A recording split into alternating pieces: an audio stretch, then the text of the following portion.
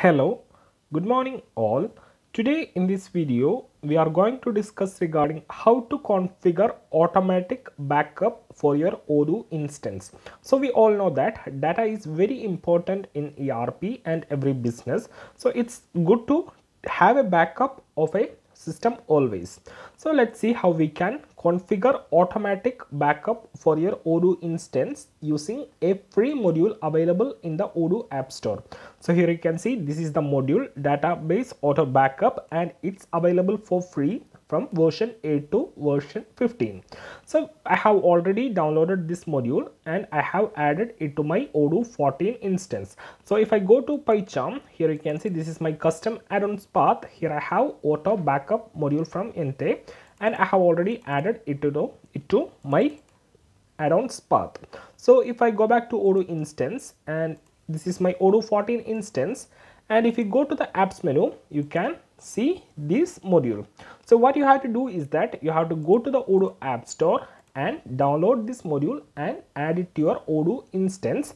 So in order to install this module, make sure that you have installed these packages. That is you can see you have to install two python packages. That is one is paramiko and pysftp so you have to install this python package paramiko and pysftp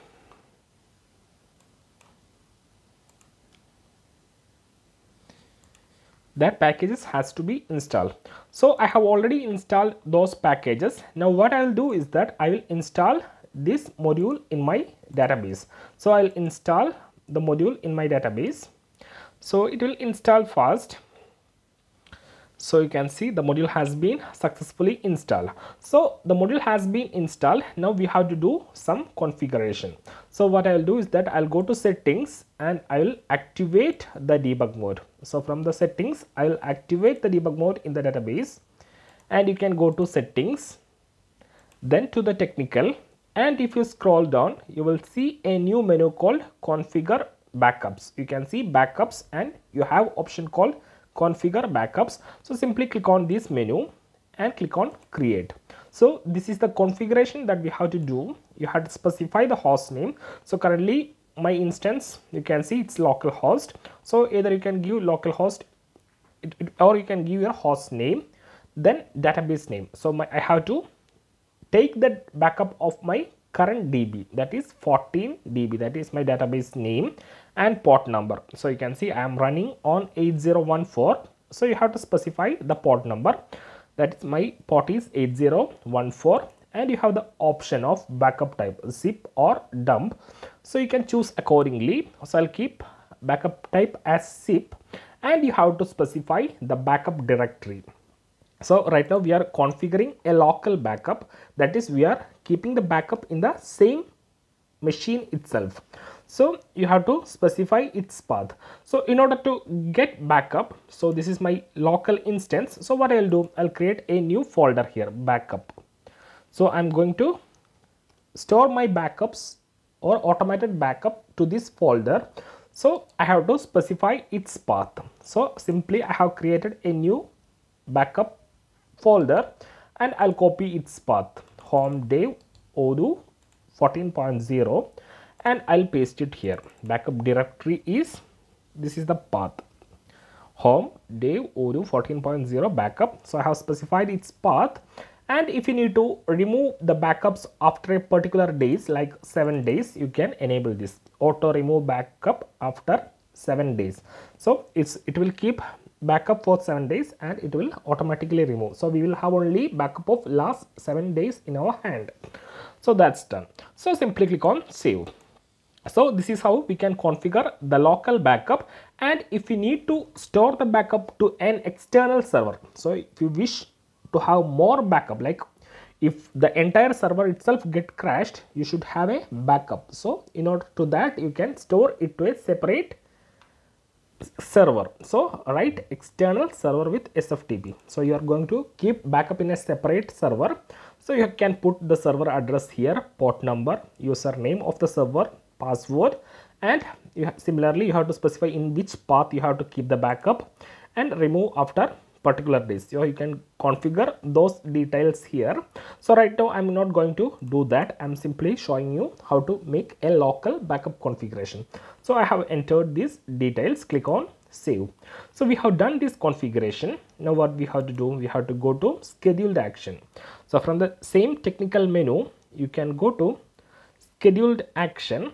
And here you will find find a action called backup scheduler. If you don't find you can search backup here in the search bar. Then it will not list because it's inactive. You can search for archived backup. Open this. And first of all what you have to do you have to make it active. So i'll click on this toggle active and save. So currently you can see it will run on every day. That is how frequent you have to take the backup. Or if you need to take get a backup only once a week or once a month you can configure accordingly. So it's good to have a daily backup. So i'll click execute every one day. And if you need to adjust the execution time so currently you can see current time is coming here. If you need to configure the daily backup at midnight you can change from here. That is at 000 that's at midnight. You can configure like this. And click on save. So the configuration has been done now at this time daily it will automatically execute and you will have your backup inside this folder. So you can see you got a backup now. So let me remove this. So right now it's empty. It has been already run. Right now it's empty. And if i click on run manually you will see you will get an automatic backup. If you go to this folder you can see the backup has been generated. And if you open or if you open this I'll just click on extract here. And if you open this you can see file store dump etc you are getting. So you can see another backup has been generated. So this is how you can configure automatic backup in Odoo. So let me remove this. Let me remove all this data.